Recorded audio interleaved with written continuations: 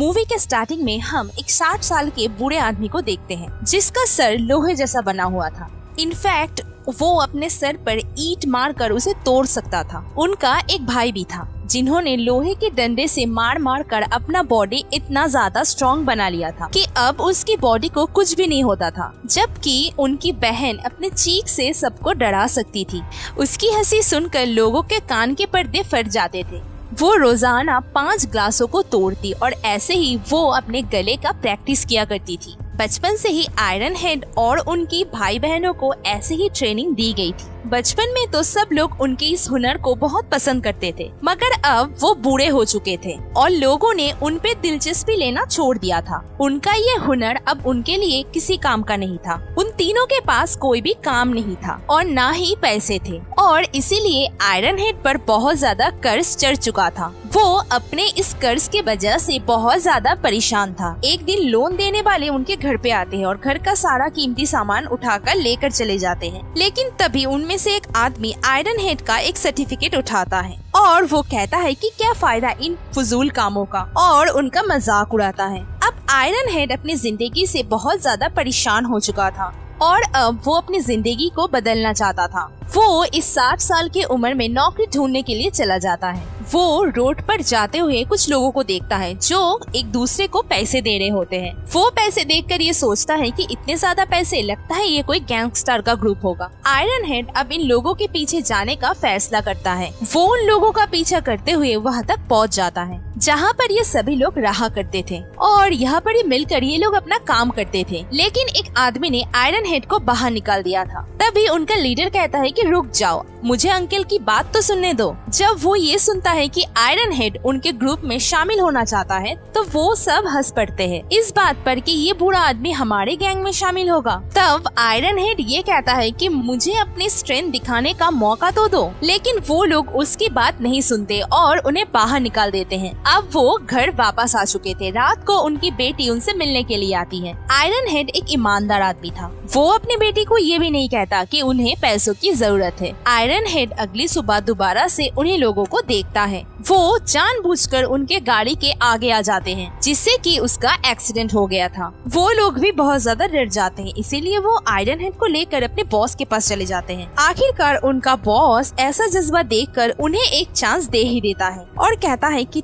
तुम्हें अपना strength proof करने के लिए एक बहुत बड़े बिजनेसमैन से बहुत सारे पैसे लाने होंगे, जिसने हमसे कर्ज लिया हुआ है। अब आयरन हेड उस आदमी के पास जाता है। वो एक आदमी के साथ बैठा हुआ खाना खा रहा था। तभी आयरन हेड उसके पास आता है और पैसे माँगता है, वो उसे पैसे देने से इनकार कर देता है। तभी आयरन हेड उसके खाने पे थूक देता है, जिसकी वजह से वो बिजनेसमैन गुस्सा होकर एक कांच की बोतल उसके सर पर दे मारते हैं। लेकिन वो तो आयरन हेड था, उसे क्या हो सकता था? वो खुद ही दस बारह बोतल अपने सर पर दे मारता है। ये देख कर सभी उस बिजनेसमैन को बुरा भला कहने लगते हैं। इस बात पर तंग आकर वो बिजनेसमैन उसको अपना क्रेडिट कार्ड ही दे देते हैं। अब जब आयरन हेड उस गैंग के पास इतने सारे पैसे लेकर जाते हैं, तब वो लोग बहुत ज़्यादा खुश हो जाते हैं। तभी बॉस उसको थर्टी परसेंट कमीशन भी दे देता है। उस ग्रुप के एक आदमी को आयरन हेड की इतनी ज़्यादा तारीफे देखकर उस गैंग की एक आदमी को उनसे जलन होने लगती है। वो जाकर बॉस के कान भरने लगता है, लेकिन बॉस उसकी कोई भी बात नहीं सुनता। अब आयरन हेड उनके साथ मिलकर ऐसे ही काम करने लगते हैं और इसी तरह एक ही महीने में वो काफ़ी अमीर हो गया। अपने घर में उसने सारी नई चीज़ें खरीद ली थी, लेकिन उसने इस काम के बारे में अपने भाई बहन को नहीं बताया था। और न ही वो अपने मास्टर को कहता है, क्योंकि वो ये जानता था कि ये लोग अगर जान गए तो वो लोग उसे ऐसे बुरे काम नहीं करने देंगे।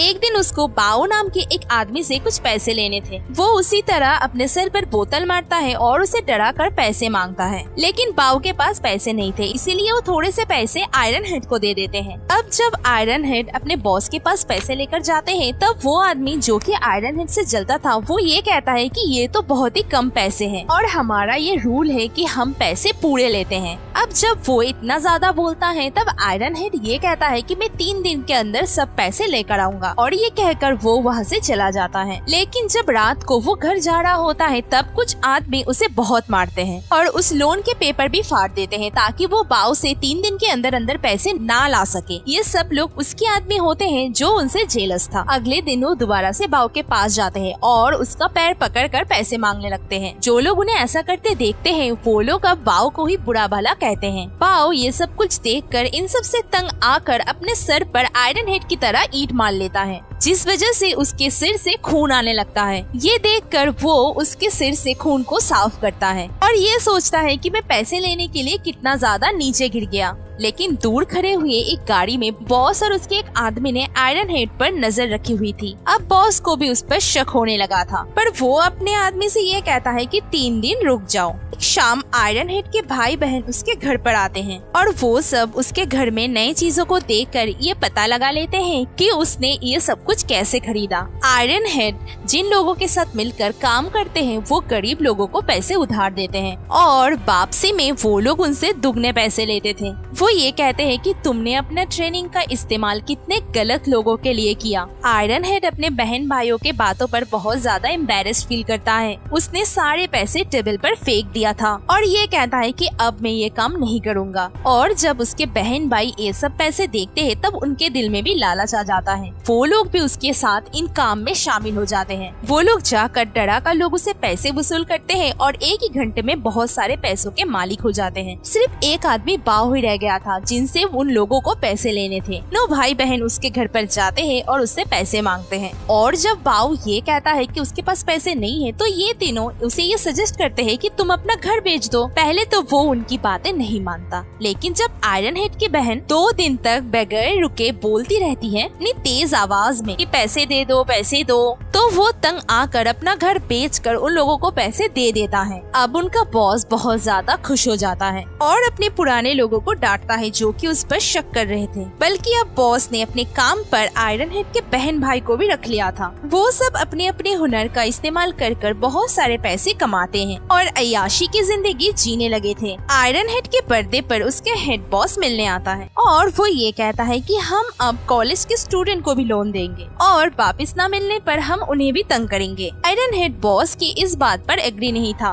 लेकिन वो बॉस के डर से कुछ कह भी नहीं पाता। कुछ दिन बाद वो एक लड़की को परेशान कर कर पैसे वसूली के चक्कर में थे। वो लड़की बहुत ज़्यादा मजबूर थी। उसके पास देने के लिए पैसे नहीं थे। पर ये बात आयरन हेड को बिल्कुल भी अच्छी नहीं लगती। क्योंकि वो उस लड़की को बॉस के साथ रहने का कह रहे थे। वो अब इन सब चीज़ों में पढ़ना नहीं चाह रहा था। इसीलिए वो अपनी फैमिली को बोट पर लेकर घूमने के लिए चला जाता है। जहाँ पर सफ़र में उसको पाओ की फैमिली भी मिलती है। बाऊ की बेटी आयरन हेड के पोते को ये कहती है कि हमारी इस कंडीशन का जिम्मेदार तुम लोग हो। बच्चे को ये बात सुनकर बहुत ज़्यादा गुस्सा आ जाता है। और जब गुस्से में वो एक बॉटल उस बच्ची को मारने जाता है, तब आयरन हेड बीच में आ जाता है। आज पहली बार उसके सर में कुछ लगने से उसको दर्द महसूस हो रहा था। और खून भी आया था। वो ये समझ पा रहा था कि ये सब कुछ उसके बुरे कामों का नतीजा है। वो बाऊ की माँ को घर लेने के लिए पैसे देता है और वो अपना ये काम छोड़ने का फैसला अपने बॉस को बता देता है। हैरानी ये थी कि उसके बॉस ने बड़े आराम से उसकी ये बात मान ली थी। लेकिन अंदर की कहानी कुछ और थी कि उस बॉस ने आयरन हेड के पोते को किडनैप कर लिया था। सबसे वो बहुत गुस्से में आ जाता है। वो सभी कुछ गन्स लेकर बॉस के घर में चले जाते हैं। हाथों में गन देखकर बॉस और उसके आदमी डर जाते हैं। लेकिन तभी गलती से आयरन हेड की बहन वहाँ पर एक गन चला देती है, जिस वजह से उन सबको ये पता चल जाता है कि गन नकली है